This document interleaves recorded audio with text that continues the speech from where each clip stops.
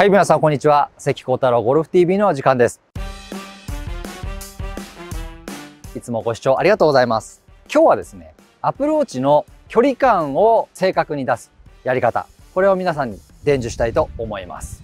アプローチのね、距離感って、こう、振り幅、肩から肩とかね、腰から腰とか、この振り幅でコントロールするよっていう方がね、これ一般的なんですけども、振り幅だけだとね、なかなかコントロール上手になりません。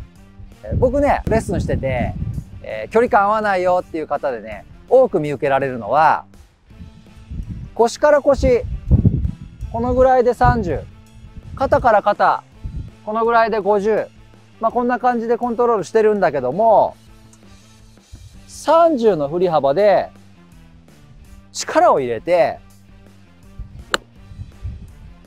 これもう50以上飛んでます。または、50の振り幅で、30しかいきません。ね。ダウンスイングの加速する強さ。これでインパクトの強さっていうのはいかようにも変わってしまいますので、振り幅だけでは距離はね、コントロールできないんですね。なので、このダウンスイングのスピードをいかに安定させるか。ここがね、アプローチの、えー、距離感のポイントになってきます。で、クラブを振ってるのは腕ですから、腕のね、この振りだったり、または右手のこのリリース、肘と手首のこのリリースの強さだったりで、距離をコントロールする。これもね、ちょっとしたプレッシャーのかかり方とかで、怖くなって緩めたり、えー、パンチが入ったりとかしてしまうので、あんまりね、これもお勧めしません。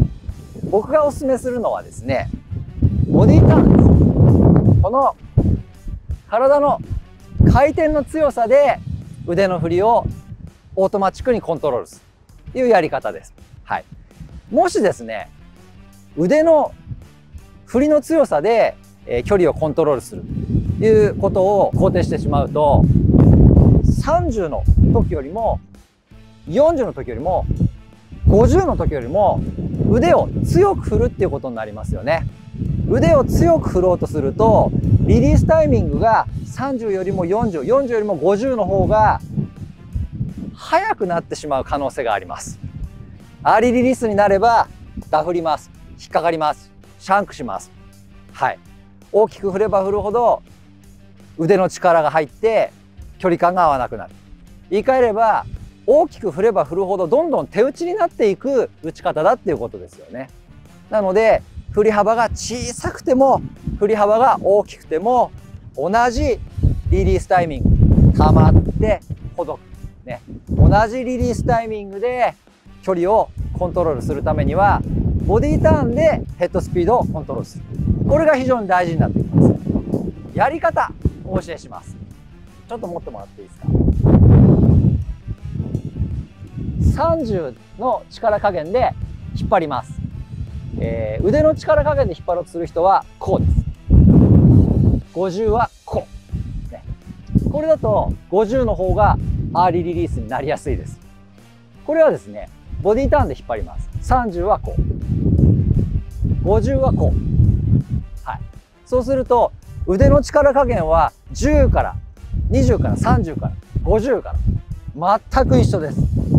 はい、これを10、20、30、40、50っていう感じで引っ張りを強くしていく。そうすると振り幅が、え大きくても小さくても、えー、ヘッドスピードが速くても遅くてもリリースタイミングがしっかり安定してアリリースになりません。はい、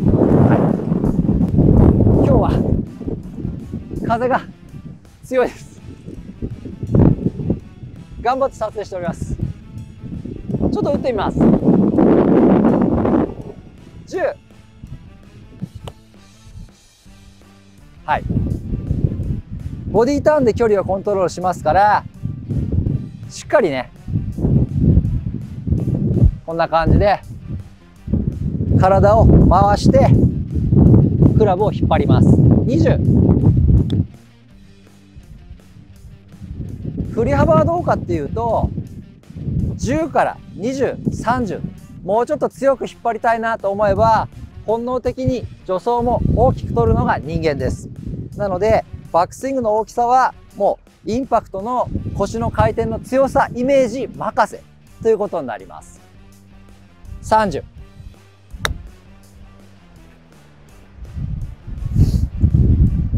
40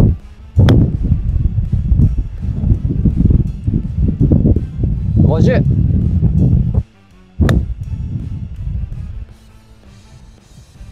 このようにしてイメージすればアプローチで腰が止まって手打ちによってラフったりトップしたり引っ掛けたりシャンクしたりするようなミスを防ぎつつ距離を安定してコントロールすることができます。皆さんやってみてください。